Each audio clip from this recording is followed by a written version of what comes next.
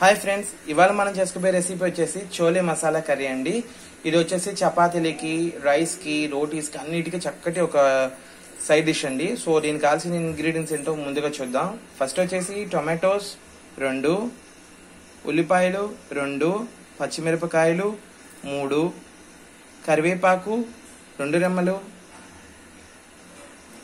తర్వాత వచ్చేసి జీడిపప్పు పావు కప్ వన్ స్పూన్ ఆఫ్ జీలకర్ర పొడి వన్ స్పూన్ ఆఫ్ కారం వన్ స్పూన్ ఆఫ్ ధనియాల పొడి half spoon garam masala fifty grams of chole శనగలు అంటారండి. హాఫ్ కప్ ఆఫ్ ఎండు కొబ్బరి వన్ స్పూన్ ఆఫ్ అల్లం వెల్లుల్లి పేస్ట్ ఉప్పు రుచికి సరిపడినంత పసుపు చిటికెడు. వాటర్ వచ్చేసి మనకి ఎంత సరిపడుతుందో అది గ్రేవీకి దానికి అంత పోసుకున్నామండి. ఆయిల్ వచ్చేసి రెండు స్పూన్లు అండి సో నెక్స్ట్ ప్రొసీజర్ ఏంటో చూద్దాం. ముందుగా వచ్చేసండి ఈ చోళే అంటే కాబూలి శనగలు అంటారు కొంతమంది. సో ఈ శనగల్ని మనం ఓవర్ నైట్ నానబెట్టుకోవాలండి. సో సిక్స్ అవర్స్ నానబెట్టుకుంటే సరిపోతుంది. సో నైట్ మనం పడుకునే ముందులో ఈ నీళ్ళలో పోసేసి నానబెట్టి పొద్దున మనం రెడీ గ్రేవీ చేసుకోవాలన్నప్పుడు సరిపోతుంది. సో నేను ఇది ఆల్రెడీ ముందుగానే నేను నానబెట్టుకుని ఉంచుకున్నాను. మీకు అవి చూపిస్తాను. చూసారు కదండి. ఓవర్ నైట్ నానబెట్టిన ఆ శనగలు ఈ విధంగా పెద్ద సైజ్ అవుతాయండి. ఈ విధంగా నానిన తర్వాత చూసారు కదా? చక్కగా నానినాయండి. అప్పుడే చోళే కూర మనకు చక్కగా వస్తుంది. సో తర్వాత ఒక కుక్కర్ తీసుకోనండి. అందులో మనం ఈ నానబెట్టిన శనగలను వేసుకుంటున్నాం. సో వీటిని మనం ఇప్పుడు కుక్కర్లో పోసి నీళ్ళు పోయాలండి. వాటర్ వచ్చేసి దీన్ని మునిగేంత వరకు పోస్తాం. ఇదిగోండి పోసుకుంటాను వాటర్ సో మునిగినాయి. సో ఇప్పుడు దీన్ని మనం స్టవ్ మీద కుక్కర్ పెట్టి ఒక ఫోర్ విజిల్స్ రావాలండి. చక్కగా మెత్తగా అయ్యేటట్టు మనం చోలేని కుక్కర్లో కుక్ చేసుకుందామండి. సో నాలుగు విజిల్స్ వచ్చిన తర్వాత మనం చూద్దాం.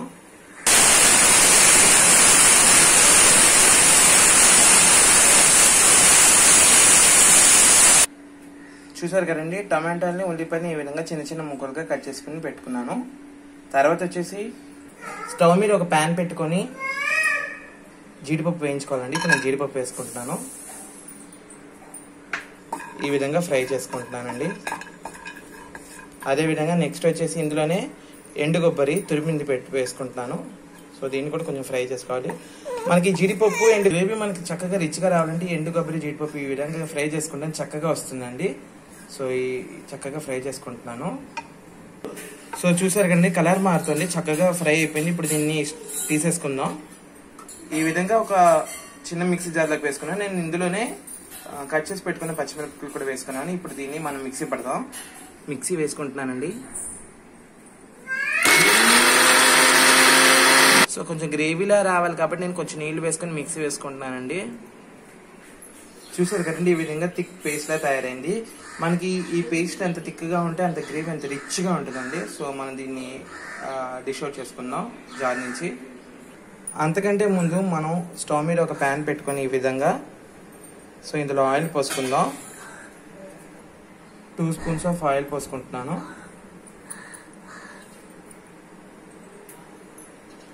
సో నూనె కాగాలి. నూనె కాగిపోయిందండి చక్కగా. సో ఇప్పుడు ఇందులో వచ్చేసి మనం కట్ చేసి పెట్టుకున్న ఉల్లిపాయలు వేసుకుంటున్నాం. ఫ్రై చేసుకుందాం. మీకు ఆల్రెడీ చెప్పిన డిప్పే ఉల్లిపాయలు తొందరగా వేసుకుని చిటికెడు ఉప్పు వేసుకుంటే తొందరగా వేగిపోతాయి.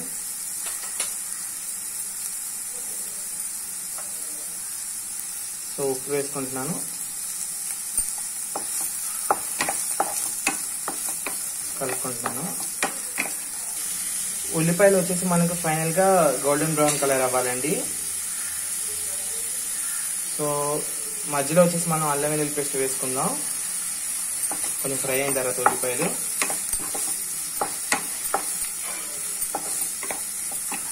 ఈ ఉల్లిపాయలు వేగే లోపల మనం టమాటో ప్యూరీ రెడీ చేసుకుందామండి. సో దానికి వచ్చేసి ఒక పెద్ద మిక్సీ జార్ తీసుకొని అందులో నేను కట్ చేసి పెట్టుకున్న టమాటాలు వేసేసుకున్నాను. దీన్ని మిక్సీ చేసుకుందాం. ప్యూరీ రెడీ చేద్దాం.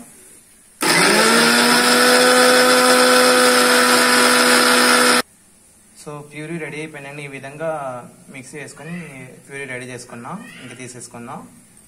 ఉల్లిపాయలు సగం వేగాయండి. కొంచెం ట్రాన్స్పరెంట్గా మారిన తర్వాత మనం ఇందులో అల్లం వెల్లుల్లి పేస్ట్ వేసుకున్నాం ఎందుకంటే పచ్చివసన పోవాలి. సో అల్లం వెల్లుల్లి పేస్ట్ వేసుకుంటున్నాను. ఒక్కసారి కలుపుకుందాం. పచ్చివాసన అంతా పోవాలండి. ఈ లోపల మనకి ఉల్లిపాయలు కూడా చక్కగా కలర్ మారుతాయి. ఉల్లిపాయలు కూడా చక్కగా కలర్ మారాయండి. ఇప్పుడు మనం నెక్స్ట్ వచ్చేసి చిటికెడు పసుపు వేసుకుంటున్నాను. మీ ఫుడ్ ప్రిపరేషన్లో అన్ని వంటల్లోనూ మీరు పసుపు అనే దాన్ని యాడ్ చేసుకుంటే చాలా మంచిదండి. యాంటీ బ్యాక్టీరియల్ పవర్ ఉంది. సో అది వేసుకున్నాం. నెక్స్ట్ వచ్చేసి ధనియాల పొడి వేసుకున్నాను వన్ స్పూన్. మొత్తం వేసేసుకున్నాను. తర్వాత half spoon of garam masala వేసేసుకున్నాను. అలాగే వన్ స్పూన్ ఆఫ్ జీలకర్ర పొడి వేసుకున్నానండి. తర్వాత వచ్చేసి కారం వన్ స్పూన్. అది వేసేసుకున్నాను. తర్వాత రుచికి సరిపడినంత ఉప్పు వేసుకుందాం. కాబట్టి మనం టేస్ట్ చూసుకుని తర్వాత యాడ్ చేసుకున్నాం. ఇప్పుడు ఉప్పు కూడా వేసేసుకున్నాం. సో ఇప్పుడు ఇవన్నిటిని చక్కగా కలుపుకున్నామండి. చక్కటి మంచి మసాలా ఫ్రై అవ్వాలి. స్మెల్ చక్కగా వస్తుంది. రావడం ఎంతో బాగుంది. ఇదంతా చక్కగా కలుపుకున్నామండి. ఈవెన్గా అంతా పట్టేటట్టు. ఇందులో వచ్చేసి కరివేపాకు వేసుకుంటున్నామండి తర్వాత ఇప్పుడు ఇందులో మనం కొంచెం నీళ్ళు పోసుకుందాం. నీళ్ళు పోసుకుంటున్నాం అండి. మరీ ఎక్కువ అవసరం లేదు. తర్వాత మనకి గ్రేవీస్ అన్ని వేసుకున్న తర్వాత ప్యూరీస్ రెడీ చేసుకున్నాం కదా ఇందాక టమాటో ప్యూరీ తర్వాత. కాజు అండ్ ఎండు కొబ్బరి గ్రేవీని కదా వాటిలోంచి కూడా నీరు వస్తుంది. మనం కొంచెం నీరు పోసుకుంటే చాలు ఈ విధంగా. చూసారు కదా కొంచెం చాలు. మరి ఎక్కువ అవసరం లేదు. ఒక్క ఉడుకు రానిద్దామండి ఫ్లేమ్ పెట్టుకుందాం చూసారు కండి ఉడికి వచ్చేసింది మనకి ఇప్పుడు నెక్స్ట్ టమాటీ ప్యూరీ పోసుకుందాం. సో కలర్ఫుల్గా ఉందండి టమాటా ప్యూరీ కూడా. సో ఒకసారి కలుపుకుందాం. మీకు చూసినప్పుడు స్టార్టింగ్లోనే తక్కువ తక్కువగా అనిపిస్తుంది. ఇప్పుడు చూసారుగా గ్రేవీ ఎంత వస్తుందో చక్కగా. కలర్ ఈవెన్గా మారిపోయింది చూసారా? ఇందాక వేసినప్పుడు కలర్ కండి ఇప్పుడు ఎలా మారిందో. టమాటో పచ్చివాసన పోయిందండి. ఇప్పుడు మనం దీంట్లోనే ఆ కాజు ఎండు కొబ్బరి పేస్ట్ వేస్తున్నాను. చక్కటి టెక్స్చర్ ఇస్తుంది ఇందాక మీకున్న డార్క్ కలర్ని అలాగే లైట్ చేస్తాను చూసారా?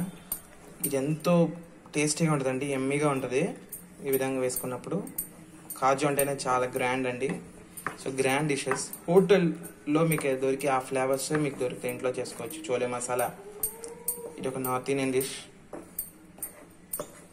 అక్కడ బాగా చేసుకుంటారు రోటీస్కి చపాతీకి. కలర్ఫుల్గా ఉందండి. ఉడికొచ్చిందండి. ఇప్పుడు మనం ఆల్రెడీ మన కుక్కర్లో నాలుగు విజిల్స్ వచ్చిన చోలేని ఆ వాటర్తో పాటు అలాగే వేసుకున్నాండి చక్కగా గ్రేవీ కూడా మీకు మంచి థిక్గా వస్తుంది. సో అందుకని ఈ వాటర్తో కూడా వేసేసుకున్నాం మనం చనాని. ఆ వాటర్ కూడా చాలా మంచిదండి. కారబోయకండి దయచేసి. ఇవి వేసిన తర్వాత ఒకసారి మీరు కావాలంటే ఉప్పు టేస్ట్ చేసుకొని చూసుకొని వేసుకోవచ్చు అడ్జస్ట్ చేసుకోవచ్చు. మళ్ళీ ఒక్కసారి ఆల్రెడీ ఉడికిపోయినాయి కాబట్టి ఎక్కువసేపు అక్కర్లేదు ఒక టూ మినిట్స్ అలాగా మీడియం ఫ్లేమ్ మీద మనం ఉడకనిద్దాం. ఉడికిన తర్వాత మనం ఇంకా డిష్ అవుట్ చేసేసుకోవచ్చు. వాటర్ అంతా ఈ విధంగా ఇంకిన తర్వాత ఈ థిక్గా అవుతుంది. ఇది అయిన తర్వాత మనం స్టవ్ ఆఫ్ చేసుకొని డిష్ అవుట్ చేసేసుకోవచ్చు. ఇప్పుడు నేను డిష్ అవుట్ చేసేసుకుంటాను చూసారు కదండి నేను ఈ విధంగా డిష్ అవుట్ చేసుకున్నాను.